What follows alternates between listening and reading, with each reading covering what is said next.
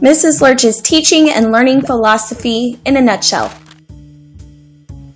Mrs. Lerch runs a modern, engaging, and progress focused classroom. We work hard and celebrate our growth and successes.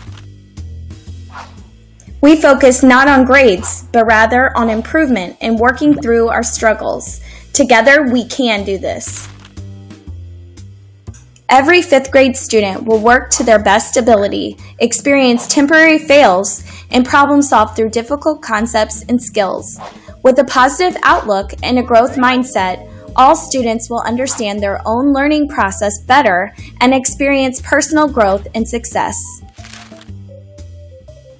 Mrs. Lerch's philosophy is always students first by utilizing Chromebooks along with other key instructional technology tools to run an engaging 21st century classroom. Mrs. Lerch will provide a safe, engaging, and challenging learning experience for all types of learners. Students will experience real, authentic learning.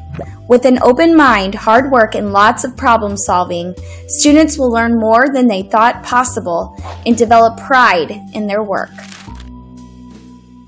Be the change you want to see in the world. Keep an open mind and trust in the learning process.